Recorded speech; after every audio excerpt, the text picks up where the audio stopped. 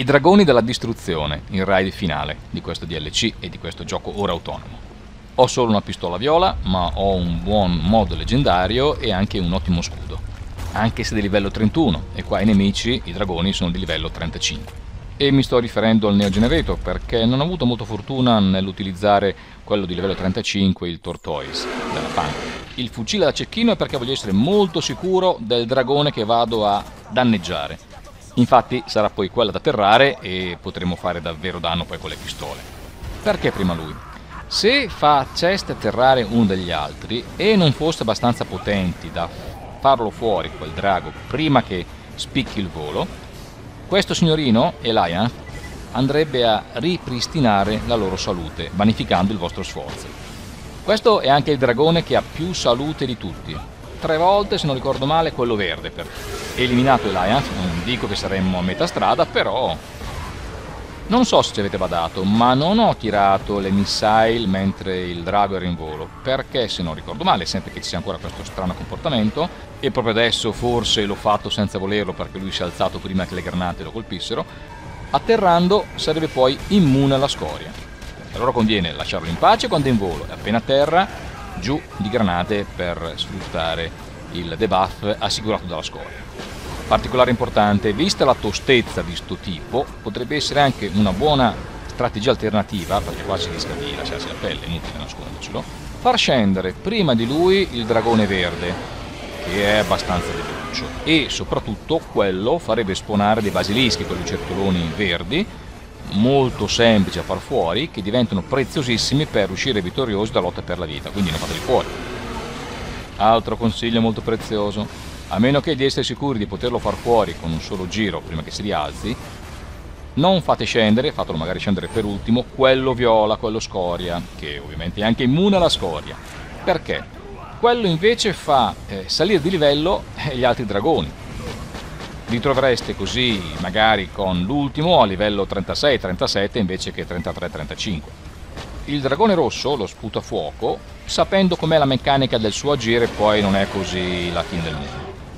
Eh, qui se switchassi sui due fucili d'assalto farei parecchio più danno ma non mi fido, è troppo il danno che sono costretto a sopportare e la Nosol mi sta tenendo in vita. Io ci ho voluto provare lo stesso senza andare a farmare prima e trovare una pistola leggendaria. Notate, quando è finito il Ganzerk sono passato alla Nozol con l'unico scopo di rimanere in vita. Se avessi continuato a far danno con la pistola mh, mm, viola, probabilmente mi avrebbe fatto secco. Ecco, ora ho fatto scendere questo, perché penso di riuscire a farlo fuori facilmente, notate come la salute vada giù molto più velocemente. E alcuni basilischi, guardate i puntini rossi sulla mappa, sono spawnati. È una specie di assicurazione sulla vita, ora che sono così vicino ad aver tirato giù Eliant, sono un po' più tranquillo. Vediamo se riesco a far scendere lui. Urk. L'ho buffata, ma ecco qua il basilisco, salvo. Non l'ho fatto apposta. Ora il signor Elianth è mio. Dovrei farcela, eh, sicuramente ce la faccio. Ne mancano solo due. Direi... Hmm, forse è meglio prima quello scoria, andiamo un po' a cercarlo. Vediamo se scende. Non dimenticatevi che c'è anche il calice rosso in momenti che diventano critici potete un po' anticipare, andare a prenderlo e resistere meglio al danno di questi bestioni. Niente Ganzerk, solo Noso. E adesso via.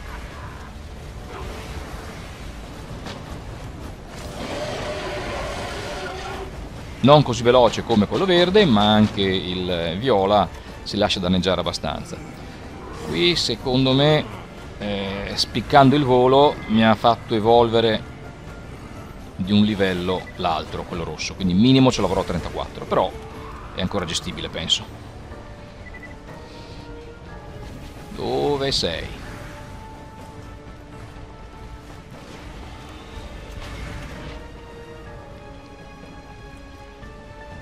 Fa. Nosol. Tienimi in vita. Ti prego, tienimi in vita.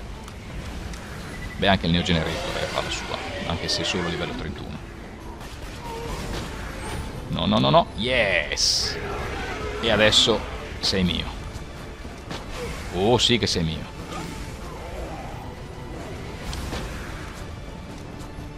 Urla, urla, strilla. Sei arrivato a capolinea. L'ultimo. Ricordatevi, quando si chiude un po' a fiore con le ali, lasciate perdere. Non solo sarà immune ai danni, ma molto facilmente i proiettili vi tornerebbero addosso, danneggiando voi invece di lui. Ecco, io vado a prendere questo coso qua per essere un po' più protetto, visto che il tempo me lo dà.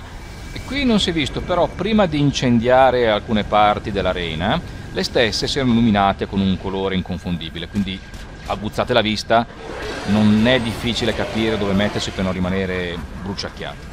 Occhio che ogni volta che lo farete risalire, lui scendendo ripeterà ancora il suo rito e l'area incendiata dell'arena sarà sempre maggiore fino alla copertura totale dove non avrete scampo per cui vi conviene farlo fuori prima ma non dovrebbe essere un grosso problema cioè non lo sarebbe se a differenza di quanto è capitato a me non avendo fatto fuori con un solo turno quello scoria.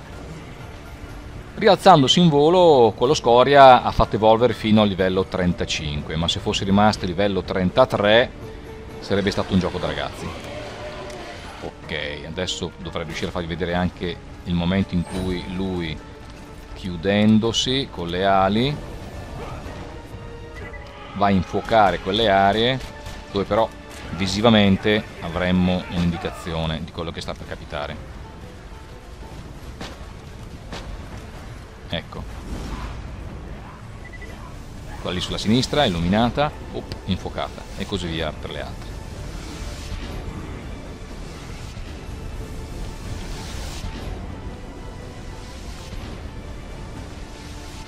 Adesso accelero un pochino tanto lo schema si ripete uguale a se stesso in un ciclo. Verso la fine della sfida ho preso un po' di coraggio e ho voluto provare con le altre due armi un cecchino e il conference call ero sicuro che avrebbero fatto molto danno ma non volevo rischiare dopo tutto questo tempo. Adesso anche dovesse andare male riprendo in mano le pistole mi sono detto eh sì il più danno. Conference call è molto potente è una leggendaria e si vede. È finita. Preparatevi a una simpatica esplosione di bottine purtroppo le armi o equipaggiamento o scudo tipicamente rosa neanche qui nella sfida più impegnativa scalano a 35 la vera ricompensa è l'incredibile numero di cristalli serafini, dovreste averne ancora bisogno, ma forse no a questo punto, ma l'Eridium sì, signori. Tra questo e quello che potremo andare a prendere nella stanza dei mimi, sono circa 120 pezzi. 120 pezzi, cioè 12 lanci che poi diventano 14 e 15 di catapulta. Così poi magari riesci anche a trovare, guarda là un po' di arancione che si vede, che cosa sarà?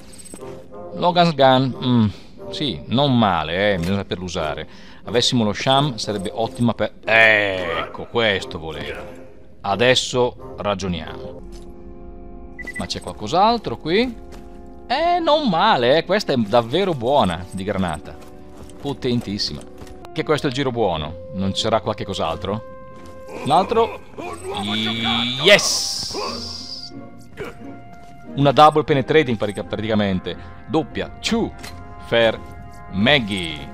Questa è una signora pistola.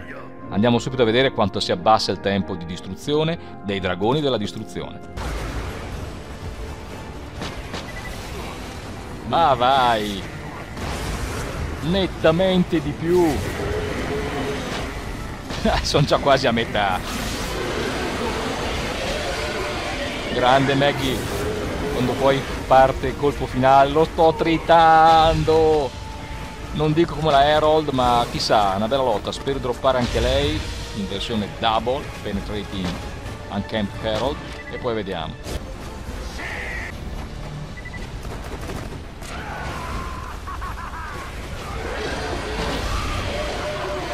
Anche Incinerator, una bazzecola. Mi aspettavo di metterci di meno, sinceramente. Però. Questo vi divisco nel suo agile. Ma dove vuoi andare? Senta neanche la noto. To eh.